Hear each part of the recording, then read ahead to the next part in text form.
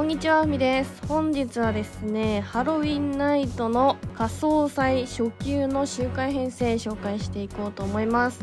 えー今回ですね、まあ、こちらね、この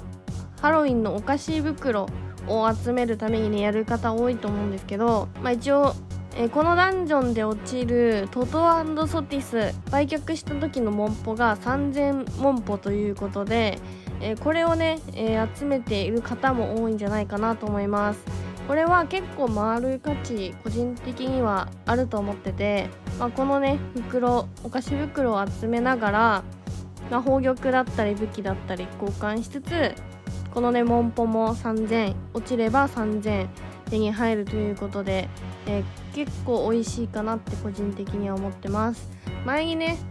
あのアップデートで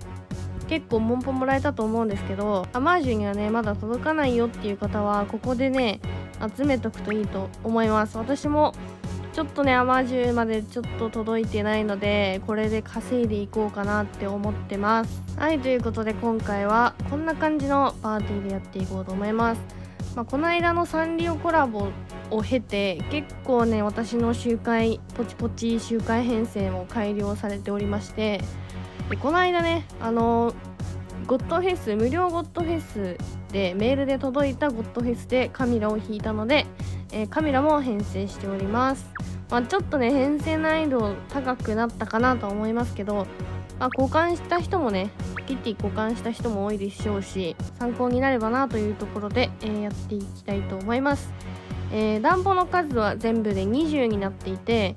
えっ、とトートソティスは必ず落ちるわけじゃないんですけど、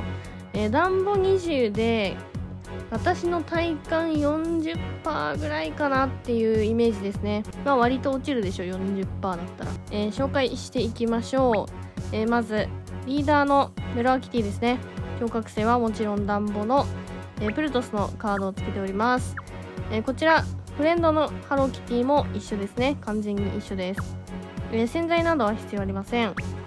えそしてサブはカネゴン。今までねラマモアダンボさんで言えばラマモア使ってたんですけど、まあ、カネゴンの方がスキルターンがね早いっていうところで、えーカネゴンを採用しておりまして、えー今回鱗滝さんをアシストしております。はい洗剤は大丈夫です。そしてカミラカミラも聴覚性が暖房で暖房4ですね。強いですね。でここは、えーカメラ自身のスキルを使っていきたいなと思うのでたまらないような武器でスキル武器えー今回は陸をつけております、えーそしてゼラキティですね。聴覚性が、えー暖房でラーの武器ラーの首飾りで固定ダメージ。はい。そして2体目のハローキティは、えーここはスキルを使わないので暖房を持っておりましてベロアのストーリーの武器かな、えースキブと暖房が漏れる武器を採用しております。で、えースキブバッジでやっていくんですがで今回ね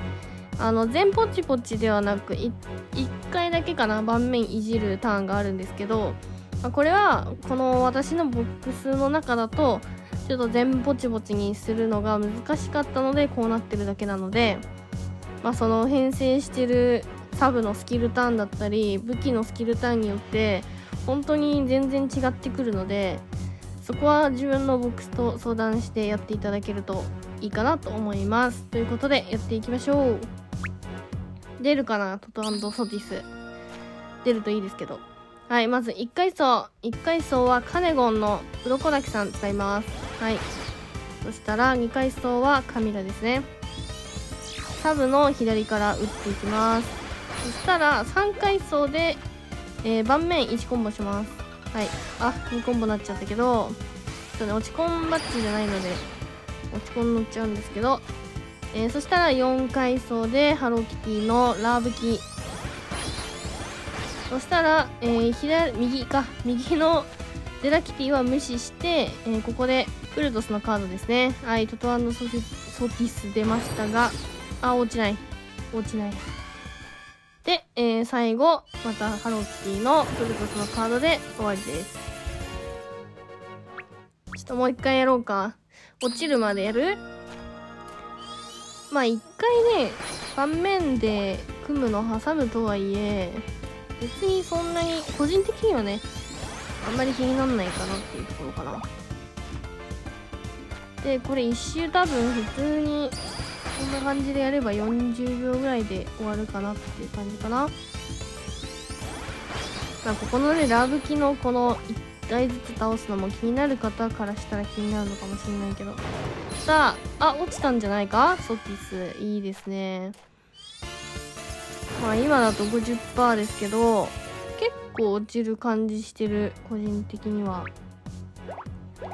これ銀だと多分落ちたってことになるかな。はい。で、えー、お菓子袋も集まりつつ、えー、まあハロウィンジョパンプキンジョーカーとかは、まあ、個人的にはまあ1体ずつ作りますけどまあそこまでいらないかな。そこまで重要ではないかな。はい。で今回の、えー、モンスター交換所で言うと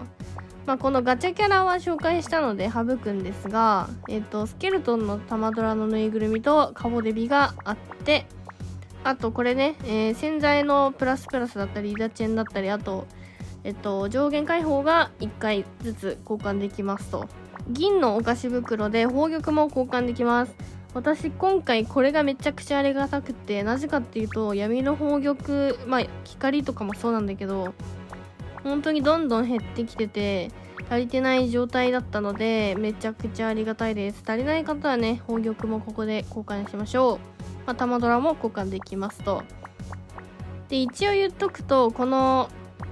スケルトン玉ドラのぬいぐるみとカボデビが交換した方がいいかどうかなんですけど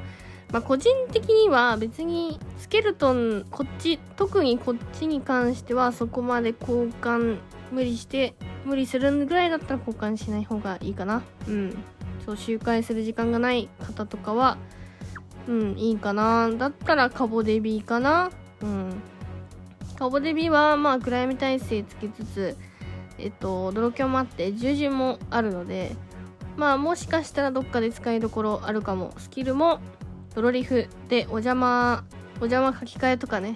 もしする場面があったらワンチャンあるかなっていうぐらいですけど